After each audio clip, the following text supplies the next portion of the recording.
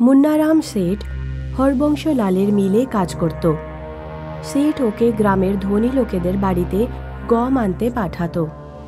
মুন্না গম নিয়ে আসতো আর গম ভাঙিয়ে আটা লোকেদের বাড়িতে পৌঁছে দিত। শেঠজি, আজ পাঁচ তারিখ হয়ে গেল। আমার মাইনেটা দিয়ে দিন। কাজ কর্ম তো ঠিকঠাক করে করো না। মাইনের কথা তুমি ঠিক মনে রাখো। এই নাও। এটা কি শেঠজি? মাত্র চার হাজার? আপনি তো বলেছিলেন এ মাস থেকে আপনি আমাকে পাঁচ হাজার দেবেন। তোমার কাজের হিসাব মতো চার হাজারও অনেক বেশি।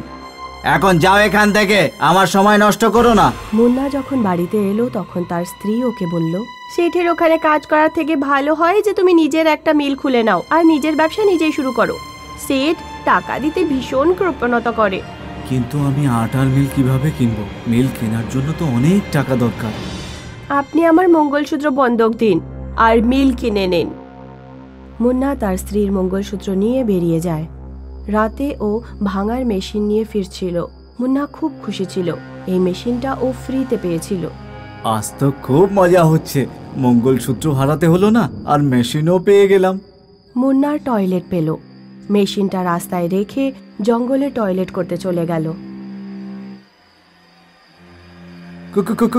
এখানে? মুন্না টর্চ জ্বালায়। আর ওর পায়ের নিচে একটা ভূতনি বসে আছে। মুন্না এতক্ষণ ধরে ভূতনির গায়েই টয়লেট করছিল। মুন্নার নিঃশ্বাস বন্ধ হয়ে গেল। ও মেশিন নিয়ে এমনভাবে পালালো যে সোজা বাড়িতে পৌঁছে গেল। কি হয়েছে? এভাবে দৌড়ে আসছো কেন?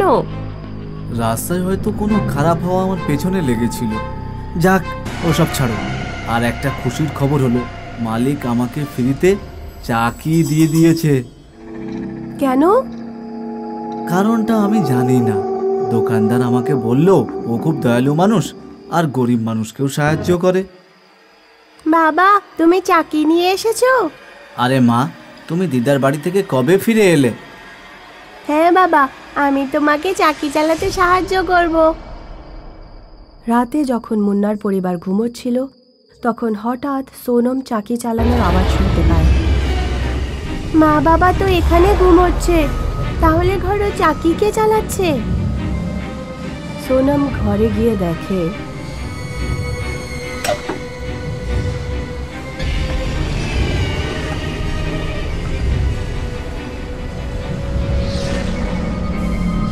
মা, বাবা, ওঠো, একটা পেতনি চাকি চালাচ্ছে।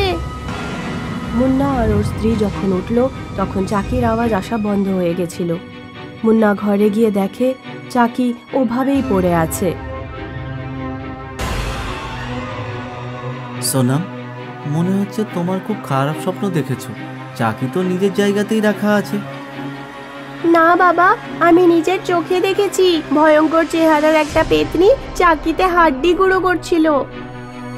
শোনো একবার ঘরটাকে শুদ্ধ করিয়ে নি আপনিও ভূতনি দেখেছিলেন? আর সোনমও দেখল কাল আপনি পণ্ডিত রামলালকে ডেকে আনবেন? পরের দিন পণ্ডিত রামনাথ আসে আর যজ্ঞ করার জন্য আগুন জ্বালাতে যায়, কিন্তু আগ জ্বলছিলই না। বড় আশ্চর্যের ব্যাপার, আপনার বাড়িতে কাঠে আগুনই ধরছে না। মনে হয় আপনার বাড়িতে কোনো জেদি আত্মা প্রবেশ করেছে। আপনার বাড়ি শুদ্ধ হবে না। এখন আপনাকে সাবধানে থাকতে হবে। বাড়িতে কিছু উল্টোপাল্টা হলে আমাকে অবশ্যই ডাকবেন। এই কথা বলে পণ্ডিত ওখান থেকে চলে যায়। সেই রাতে যখন মুন্নার পরিবার ঘুমোচ্ছিল তখন ওরা চাকির আওয়াজ আবার শুনতে পায়। শোনো বাবা আমি বলেছিলাম না ঘরে কেউ চাকি চালায়? এখন তুমি নিজের কানেই শুনে নাও। তিনজনই ঘরের ভেতরে যায়।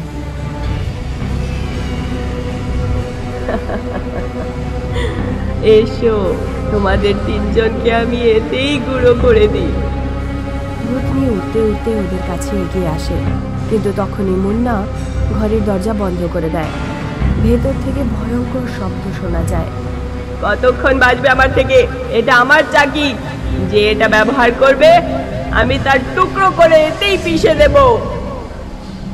মুন্নার পরিবারকে সারা রাত ঘরের বাইরে কাটাতে হলো কারণ ওরা ঘরের ভেতরে যেতে ভয় পাচ্ছিল।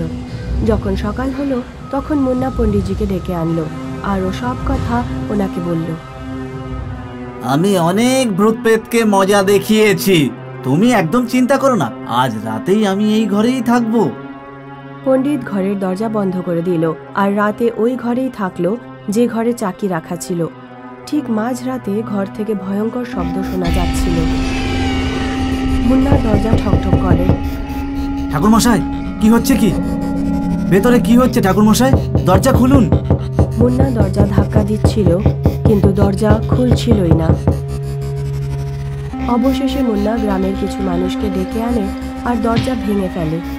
পণ্ডিতের শুধু দেহটাই চাকির পাশে পড়েছিল আর মাথাটা খুঁজে পাওয়া যাচ্ছিল না। তখন পণ্ডিতের ছেলে রাহুল ওখানে এলো। বাবা আমি যে আমাকে মেরেছে আমি ওকে জীবিত ছাড়বো না। রাহুল মুন্নার ঘরে বিরাট বড় একটা যজ্ঞ করে। তখন ওই পেতনিটা ওখানে আসে। কে তুই? এই চাকির সাথে তোর কি সম্পর্ক? আর তুই আমার বাবাকে কেন মেরেছিস? পঁচিশ বছর আগের কথা। আমার বাবা চাকি চালাতো। আমি তখন অনেক ছোট ছিলাম। ব্যবসায়ী দীনদয়াল যে এই চাকি মুন্নাকে দিয়েছে আর তোর বাবা পণ্ডিত রামনাথ আমার মায়ের সাথে অসভ্যতা করেছিল। আমার মা দুজনকে চর মারে। দীনদয়াল আর রামনাথ চরের বদলা নেওয়ার জন্য আমার পুরো পরিবারকে মেরে ফেলে। আজকে যদি আমি বেঁচে থাকতাম, তাহলে তোর মতোই হতাম। আমি আমার বাবার পক্ষ থেকে ক্ষমা চাইছি। আর আমরা সবাই মিলে ব্যবসায়ী দীনদয়ালকে শাস্তি দেব। কিন্তু তুমি গ্রাম থেকে চলে যাবে। আগে দিন দয়ালকে শাস্তি দাও। যতক্ষণ না দীনদয়ালের শাস্তি হবে, ততক্ষণ আমি গ্রাম থেকে যাব না। গ্রামের লোকেরা দিন দয়ালকে ফাঁসিতে ঝোলায়। তারপর পেতনি গ্রাম থেকে উধাও হয়ে যায়। সাগরের ট্রান্সফার একটা রিমোট জায়গায় হয়েছিল। সে নিজের স্ত্রী আর বাচ্চা নিয়ে নতুন বাড়িতে শিফট করছিল। এই জায়গাটা কি সুন্দর না মা? দূরে অব্দি পাহাড় আর জঙ্গল ছড়িয়ে আছে। এমন মনে হয় আমরা যেন কোনো টুরিস্ট স্পটে চলে এসেছি। কোথাও একা করতে যাস না বুঝলি? ভূতে আবার ধরে নিয়ে যাবে তোকে। তুই নিজের খেয়াল রাখ আমার চিন্তা ছাড় আমি তোর মতো ভীতু নই। রোহন মারিয়া তোরা দুজন আবার ঝগড়া শুরু করলি? কাল তোমরা নতুন স্কুলে যাবে তার প্রস্তুতি নাও। গৌরী এতদিন মহানগরে থাকতো আর সেখানকার জীবনে অভ্যস্ত ছিল। ওর সারা বাড়ির কাজকর্ম করার খুব কষ্ট হতো। যদি এখানে কোনো কাজের মেয়ে পেতাম, আমি একা একা কাজ করতে করতে পাগল হয়ে যাব। গৌরী তখন দরজায় খটখটের আওয়াজ শুনতে পেল। আসছি। গৌরী যখন দরজা খুলল, তখনও বাইরে একজন মহিলাকে দেখল। আমার নাম লক্ষ্মী। আপনার এখানে কোনো কাজের লোক দরকার? অদ্ভুত ব্যাপার। আমি কাজের মেয়ের কথা ভাবছিলাম। তোমাকে কে বলল আমার কাজের লোকের দরকার? কেউ আমাকে বলেনি। আমি কাল রাত আপনাদের এখানে দেখলাম। বুঝতে পারলাম। শহর থেকে কিছু লোক এখানে থাকতে এসেছে। হয়তো তাদের কাজের লোকের দরকার পড়বে। হ্যাঁ আমার দরকার তো আছে। ঠিক আছে, তুমি আজ থেকেই আমার সাথে কাজ করতে শুরু করো। কিচেন কোন দিকে? ওহো সরি আমি তো ভুলেই গেছিলাম। আসলে নতুন বাড়ি তো ওই জন্য খেয়ালই নেই। কিন্তু ও কি করে জানলো যে যে কিচেন ডান দিকে রয়েছে? শোনো লক্ষ্মী তুমি কি করে জানলে যে কিচেন ডান দিকে? কয়েক বছর আগে একজন সাহেব এখানে থাকতেন। তো আমি তার কাছে কাজ করেছিলাম, তাই এই বাড়ির আনাজ কানাজ সব চিনি। এটা তো খুবই ভালো ব্যাপার, ঘর পরিষ্কার করতে আমাকে সাহায্য করো। তুমি এই বাসনগুলো ধুয়ে দাও, আমি এক্ষুনি আসছি। গৌরী এক মিনিট পর কিচেনে ফিরতেই চোখ কপালে উঠে গেল। লক্ষ্মী সব বাসন মেজে রেখে দিয়েছিল। এত তাড়াতাড়ি তুমি সব বাসন ধুয়ে ফেললে? আমার কাজ করার স্পিড খুব বেশি। রাতে মারিয়া নিজের ঘরের বিছানায় বসে হোমওয়ার্ক করছিল। তখনই একটা রক্ত মাখা ছুরি হঠাৎ মাটিতে পড়ল। মারিয়া বিছানা থেকে নেমে খাটের নিচে তাকায়। খাটের নিচে লক্ষ্মীর লাশ পড়েছিল। মারিয়ার চিৎকার শুনে সাগর আর গৌরী মারিয়ার ঘরের দিকে ছুটে আসে। মারিয়া নিজের ঘরের বাইরেই দাঁড়িয়েছিল কি হলো মালিয়া? কি হলো? আমার খাটের নিচে কারোর লাশ পড়ে আছে। সাগর আর গৌরী খাটের নিচে দেখে। এখানে তো কিছুই নেই মারিয়া। মনে হয় তুমি নতুন জায়গায় ভয় পেয়েছ। চলো আমার সাথে ঘুমোবে।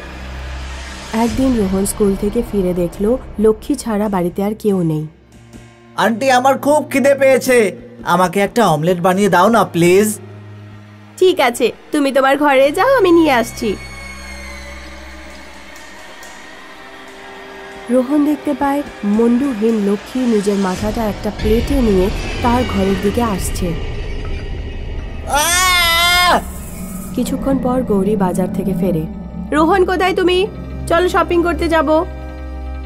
রোহনের কোনো উত্তর না পেয়ে গৌরী রোহনের ঘরে গেল। রোহন মাটিতে অজ্ঞান হয়ে পড়েছিল।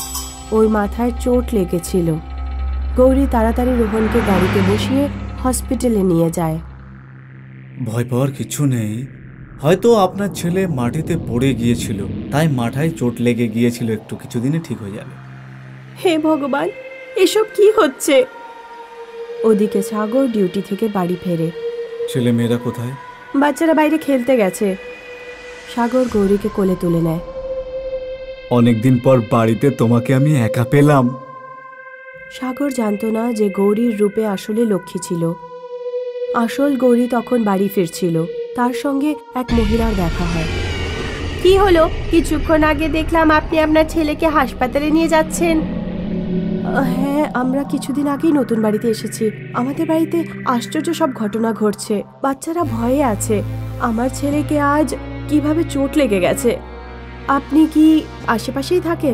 হ্যাঁ ওই সামনের বাড়িটা যেটা দেখছেন না ওটা আমাদের। আপনার বাড়িতে কে কে আছে? আমি আমার দুই ছেলে মেয়ে আমার স্বামী আর একটা কাজের মেয়েকেও রেখেছি আমরা লক্ষ্মী। হয়তো আপনি ওকে চেনেন। লক্ষ্মী? হ্যাঁ লক্ষ্মী যে খুব তাড়াতাড়ি কাজ করে। কিন্তু লক্ষ্মী তো কুড়ি বছর আগেই মারা গেছে। কুড়ি বছর আগে একজন সাহেব এ বাড়িতে থাকতো। তার নিজের স্ত্রীর সাথে প্রায়ই ঝগড়া হতো। লক্ষ্মী ওই সাহেবের ওখানে কাজ করত। লক্ষ্মী সাহেবের প্রেমে পড়ে যায়। ব্যাস, হয়তো সাহেবও লক্ষ্মীকে প্রেম করত। যখন এই কথাটা স্ত্রী জানতে পারল, তখন সে একদিন লক্ষ্মীকে খুন করে দেয়। লক্ষ্মী গরিব ছিল, তাই তার হয়ে কেউ কথা বলেনি। ওর আত্মা আজও এই বাড়িতে ঘুরে বেড়ায়। যেটাই আপনারা থাকছেন। গৌরী বাড়ির দিকে ছোটে। সাগর আহত অবস্থায় টলতে টলতে বাড়ির বাইরে আসছিল। পালাও এখান থেকে, ভেতরে কোনো পেতনি আছে, ও তোমার রূপ ধরে আছে, ও তোমাকে মেরেই ফেলেছিল। অনেক কষ্টে বেঁচে এসেছি। পালাও এখান থেকে, পালাও! সাগর আর গৌরী ছেলে মেয়েদের নিয়ে ওই বাড়ি থেকে দূরে চলে যায়। যাওয়ার আগে ওরা দরজায় একটা পোস্টার লাগিয়ে যায়। পোস্টারে লেখা ছিল, এই বাড়িতে লক্ষ্মীর আত্মা থাকে। দয়া করে এখানে প্রবেশ করবেন না।